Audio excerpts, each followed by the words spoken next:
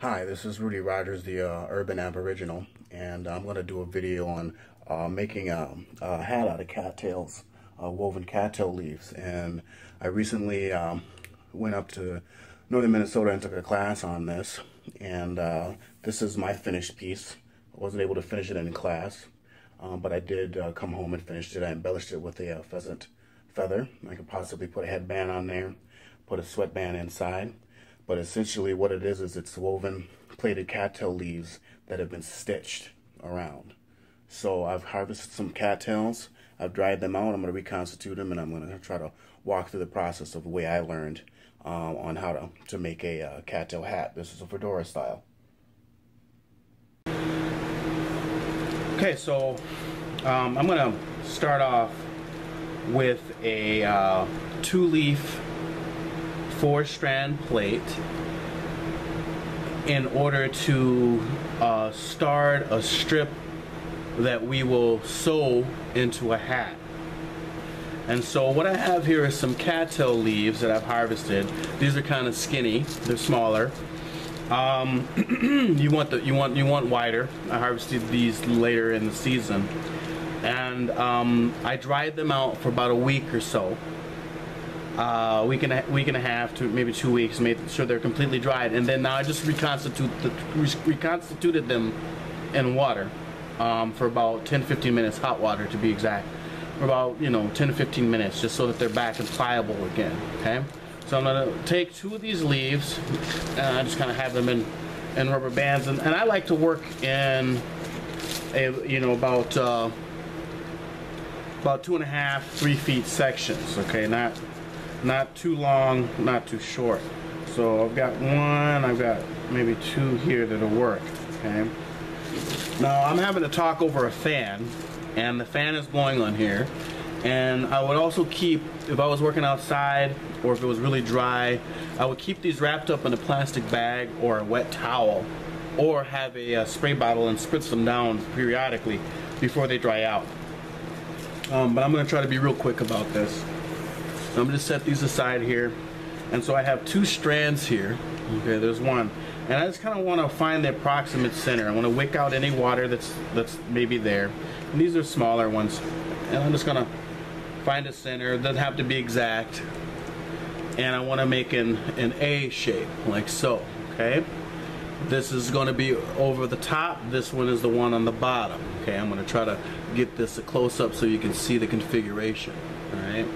And then what I want to do is I want to take the other leaf and I want to put this in it so you can see the configuration here like so. Okay? So then what I want to do then is then take my right side here and you have to excuse my hands um, camera angle's not not that good um, I'm gonna fold this over and fold it so that it folds itself behind. In this configuration like so. Okay? And then what I want to do next is take this left one and fold it inward but then flip it underneath That'll give us our base starting point. I'm just putting some creases in there and then you can see what this looks like. Okay. Now the weaving pattern is essentially going to be that. So I'm going to start with the right. I'm right-handed. If you're left handed you may want to start with your left. I'm going to start with my right. I'm going to go with my left hand and all I'm going to do is just crease over and go underneath on the left side, I'm going to crease inward and go over the top and then crisscross them in the middle. So you have this configuration.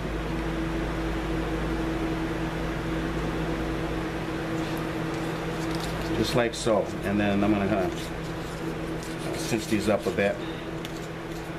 And because when leaves, when you, you, you reconstitute cattail leaves, you don't want to reconstitute them too long because what happens is they get saturated and they get full with water.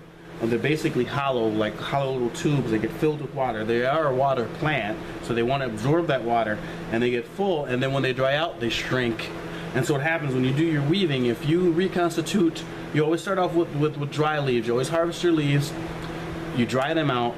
You reconstitute them just enough to be pliable, and then um, you you work with them. Um, but after they dry, then what happens is you'll have gaps or holes in your, your in your work. So you, you want to make sure that your weaving is, is, is tight, even when they're wet, especially if they're really saturated.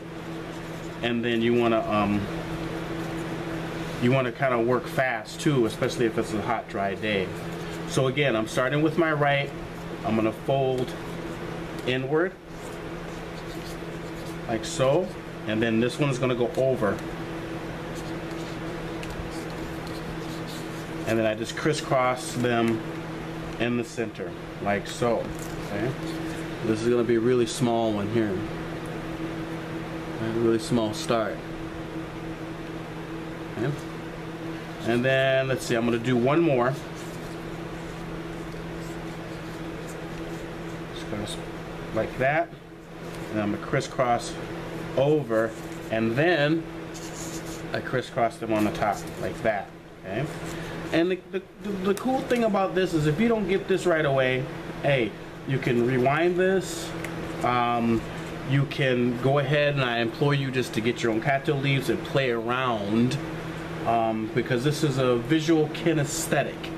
This is a kinesthetic you know meaning motion or you have to feel it um, it's a visual kinesthetic skill set, and so unless you're doing it, you you know most people won't get it. Um, but you can visually kind of see if you're doing it right, but you actually have to do it and feel the plant in order to make it work. So that's what I mean by visual kinesthetic. Okay, so now we've gone oh maybe like uh, one, two, three, four, and we're now to our fifth one here. Okay, like so. So you know maybe one, two, three, four, and then that's probably about it. Okay, now we're going to start to make our bend. Okay, and I'm going to start, I'm to lay this out on top here so it's facing to my right.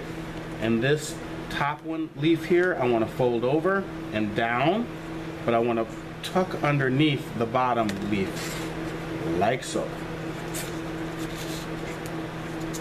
Do it like that.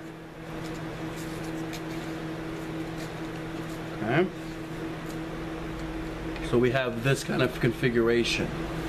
Up close, that's what it's going to look like. Now, I'm going to take this top leaf left and I'm going to fold it backwards. It's going to go down, crease it down, but it's going to go over the top. I'm gonna cinch these up like so. So now you have this configuration.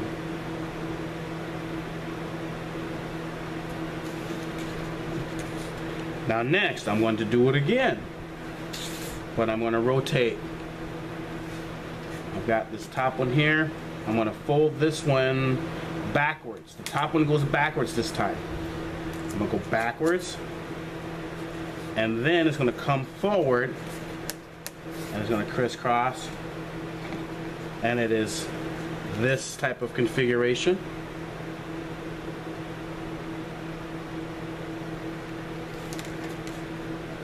And then the top one I'm going to fold forward fold forward okay. It's going to go behind the bottom leaf. And it's going to be this configuration. So that's how we're doing our turn or our bend. Okay, this is important to start the spiral or the beginning of the hat. Okay. Next, I'm going to do it one last time. That was the second time. I'm gonna rotate this again, same concept. Now this one is behind, so I'm going to fold it forward. and I'm going to tuck it behind the bottom one.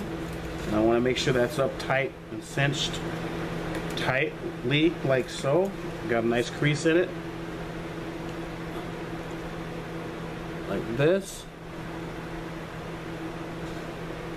And then this one here is behind, so I want to cinch it behind, and crease it behind, and then go over the top of the bottom one. And because of the fan, it's about time for me to kind of water these down, uh, spray these down, or at least get them wet again, because these are starting to crease or crack.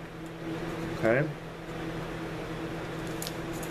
So essentially, this is the configuration that you end up with when you do your turn or your bend with this two leaf four strand plait configuration.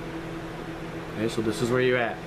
If you need to, go ahead, rewind this, slow it down, take it step by step. I would implore you to get some cattail leaves to, to do alongside. I'd also implore you to even construction paper, pieces of leather, pieces of cloth, strips of them, so that you can kind of work it out. And yes, it's going to be frustrating, but but but forgive yourself and uh, you know just keep trying you know. Take 10 15 minutes to give it a try. If you don't get it first couple of tries and take a break come back and do it again. Weaving is can be that way. Um, these sorts of skills can be that way.